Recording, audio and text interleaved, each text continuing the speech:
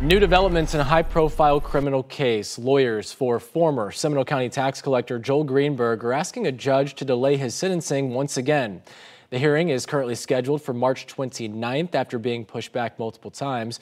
Greenberg says he needs more time to cooperate with prosecutors on other investigations. Last year, he pleaded guilty to several crimes, including sex trafficking.